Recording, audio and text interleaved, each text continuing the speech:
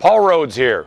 I know you Cyclone fans really appreciate the strong work ethic of Iowans on and in the field, whether they're football players or farmers. Now let's show our support for Iowa farmers. Give me a Farm Strong Flex.